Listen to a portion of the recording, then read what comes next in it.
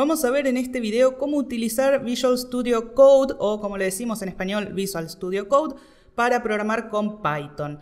Para eso, primero, por supuesto, tendremos que descargar este editor de texto Visual Studio desde la web code.visualstudio.com.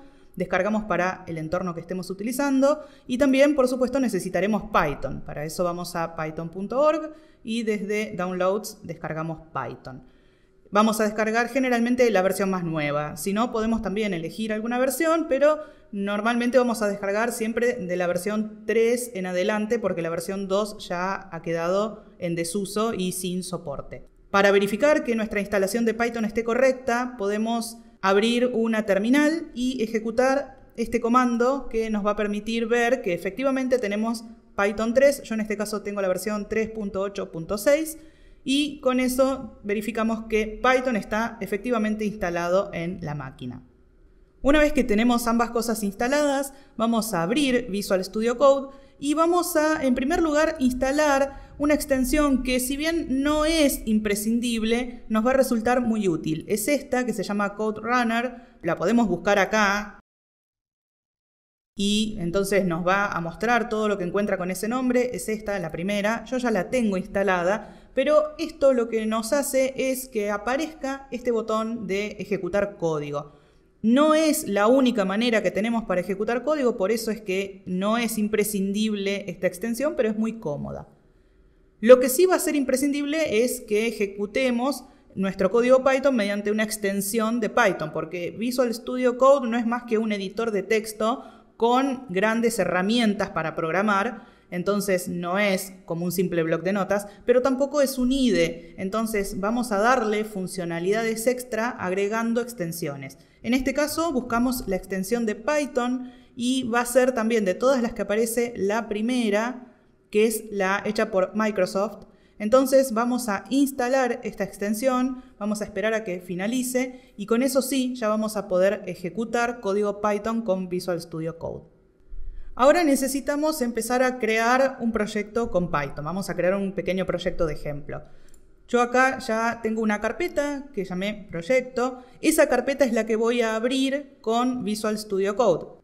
Si vamos acá en el explorador, vamos a ver que no tenemos ninguna carpeta abierta. Entonces, nuestro siguiente paso es abrir la carpeta de nuestro proyecto acá. Podemos presionar Open Folder o podemos ir a File y acá Open Folder.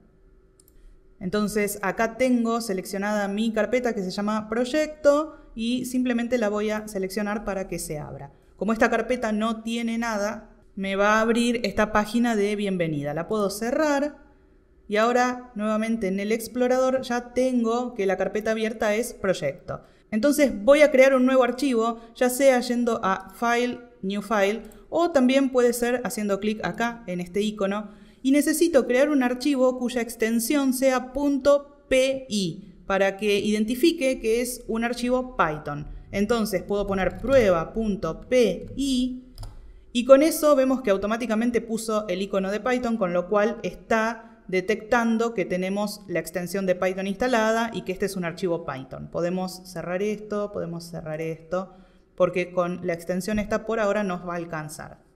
Entonces vamos a ingresar cualquier código, algo pequeño para probar solamente, y con esto vamos a guardarlo, puede ser presionando control S como acabo de hacer yo, o puede ser yendo a File y Save, que también nos guarda el archivo.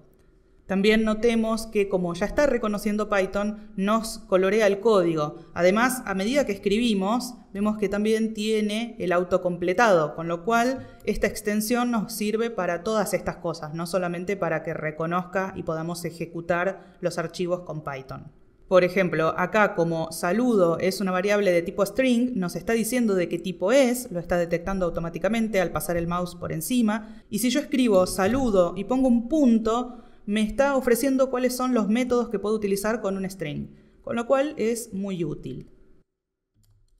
Ahora, si queremos ejecutar este código, podemos presionar este botón y automáticamente vemos que detectó, lo único que pasó acá es que no detecta el símbolo de exclamación de apertura, pero no es porque no pueda ejecutarse. Efectivamente vemos que ejecutó con este comando Python mi archivo prueba.py. Otra forma que tenemos para ejecutar si no tenemos esta extensión que nos habilita el botón este es dar clic derecho y acá podemos elegir esta opción de ejecutar código Python en la terminal. Entonces también nos lo está ejecutando, solamente que está utilizando la terminal que yo tenga por defecto. Y algo que tiene de bueno es que esta opción también me guarda automáticamente el archivo, es decir, que no necesito primero guardar para después ejecutar. Otra forma sería seleccionar las líneas de código que yo quiera, en este caso tengo solo dos, pero podría seleccionar parte de mi código y presionar Shift más Enter y eso vemos que también ejecutó, esta vez en el intérprete interactivo. Es equivalente a cuando abrimos un intérprete interactivo y tipeamos cada una de las instrucciones, entonces eso es lo que hace. Así que de un programa o de un archivo largo con bastante código podríamos seleccionar parte de él y ejecutar únicamente esas líneas que tenemos seleccionadas.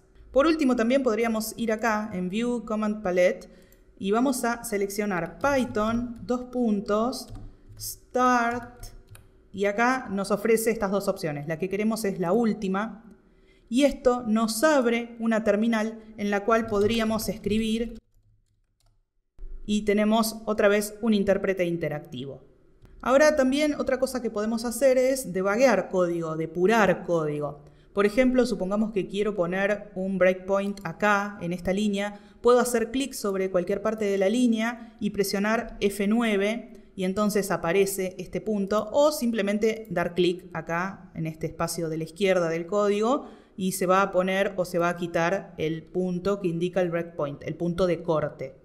Ahora vamos a iniciar el depurador presionando F5, entonces nos da las opciones. Hay varias opciones que podemos usar para configurar el depurador. Por lo pronto, para hacerlo sencillo, vamos a utilizar solamente esta que dice Python File, que lo que hace es, acá nos explica qué es lo que hace, es depurar el archivo que tenemos actualmente activo en el editor, es decir, este, prueba.py.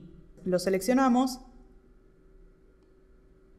y vemos que inició el depurador y que nos está marcando dónde frenó. Esto obviamente es un código muy simple, pero si tuviésemos más código, habría detenido la ejecución en la línea donde nosotros pusimos el punto y nos está mostrando acá a la izquierda cuáles son las variables que tenemos, en este caso saludo, de qué tipo son, y bueno, con esto podemos analizar nuestro código y ejecutarlo paso a paso. Las opciones para ejecutar el depurador las tenemos acá. Con esto continuaríamos ejecutando el código sin ningún problema, podemos ir paso a paso, podemos entrar en alguna llamada a una función, a un método, podemos salir, podemos reiniciar todo y detener el depurador. También si pasamos el mouse por encima nos va a dar información. Por ejemplo, acá de print nos está diciendo que es una función incorporada. La de print es incorporada dentro del lenguaje. O si pasamos por saludo nos dice que contiene esa variable. También el depurador nos permite jugar con estas variables en el sentido de que podemos probar hacer cosas con ellas. Para eso vamos a la consola de depuración y como tenemos una variable saludo que es un string, podemos escribir saludo, por ejemplo split. Y vemos que lo que hizo es, bueno, lo que hace el método split, generar una lista con cada una de las palabras y de esa forma podemos ejecutar código que no está escrito en nuestro archivo, pero que de todas maneras puede ser ejecutado con las variables que el depurador tiene almacenadas en este momento. Si yo reinicio el depurador, vuelve a empezar la ejecución y vuelve a detenerse otra vez en la misma línea. Si queremos detener el depurador y volver a nuestro código normal, vamos acá, stop, y simplemente el depurador se detuvo y podemos continuar escribiendo código. Si no necesitamos más el punto, lo podemos eliminar de esta manera.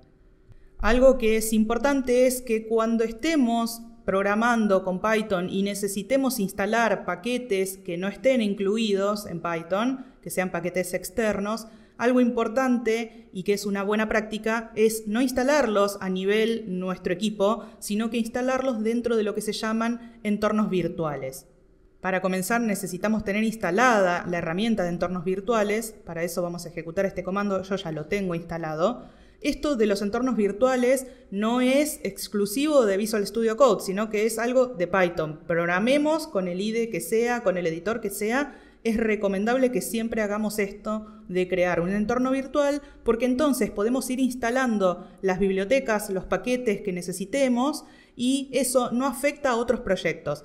¿Por qué es útil? Porque, por ejemplo, podría tener un paquete con una determinada versión en un proyecto y si trabajo durante mucho tiempo, ese paquete posiblemente reciba actualizaciones, pero tal vez no quiera actualizar porque me rompe alguna parte de mi código o por el motivo que sea no quiero actualizarlo, pero a la vez quiero comenzar algún otro proyecto donde sí necesito tener una versión actualizada. Entonces puedo con los entornos virtuales tener cada uno una versión diferente y que no tengan nada que ver entre sí, que sean instalaciones totalmente independientes. Por eso es que vamos a crear un entorno virtual. Y para eso, donde estoy en la carpeta de mi proyecto, voy a ejecutar este comando, que lo que hace es crearme un entorno virtual que se va a llamar en este caso MyVM, es decir, sería como mi entorno virtual. Entonces acá podríamos poner el nombre que nosotros queramos. Para activarlo, es decir, para empezar a trabajar dentro de ese entorno virtual, voy a ejecutar este otro comando. Entonces, acá me está indicando que estoy trabajando dentro de este entorno virtual. Todo lo que ahora ejecute va a quedar exclusivo para este proyecto. Entonces, ahora vamos nuevamente a la paleta de comandos, ponemos Python, dos puntos, select, y acá nos aparece select interpreter. Va a permitirnos seleccionar el intérprete y el que tenemos que seleccionar es el que tiene el entorno virtual que acabamos de crear. De esta manera vamos a trabajar entonces en este entorno virtual y vamos a poder instalar todo lo que necesitemos. Para asegurarnos de que estamos trabajando en este entorno virtual, podemos verificar que acá abajo nos está diciendo con qué versión de Python trabajamos y nos indica acá el nombre que le dimos al entorno virtual. Entonces, ahora sí, por ejemplo, supongamos que queremos instalar Flask, porque vamos a trabajar con Flask, podemos ejecutar este comando y va a empezar a instalar Flask, pero únicamente dentro de mi entorno virtual. Nos va a dar a veces este mensaje que es porque la versión de pip recibió una actualización y yo no la tengo instalada, pero no importa, eso lo que nos está indicando es simplemente una posibilidad de que podríamos instalar la versión más nueva, pero acá nos está diciendo que instaló efectivamente estos paquetes. Entonces nos instaló Flask, pero únicamente para este entorno virtual y si quisiéramos empezar un nuevo proyecto con otro entorno, entonces necesitaremos volver a instalar Flask o el paquete que sea necesario. Si queremos ver qué es lo que pasó con nuestra carpeta, nuestro código, vamos acá al explorador y vemos que ahora se nos generaron dos carpetas aparte del archivo .py que yo había creado. Una es la del entorno, acá es donde va a quedar instalado todo lo que vayamos instalando dentro de este entorno virtual. Pero además se nos creó la carpeta de Visual Studio Code que es la que contiene este archivo que se va generando automáticamente a medida que nosotros agregamos configuraciones. Es un archivo JSON donde Visual Studio Code va guardando nuestras opciones de configuración que queremos que por supuesto también podemos modificar a mano, podríamos escribir acá algo, pero bueno, tenemos que saber exactamente qué es lo que estamos escribiendo y por qué. Hasta acá con este video para aprender a utilizar Python en este editor tan comúnmente usado que es Visual Studio Code. Nos vemos la próxima.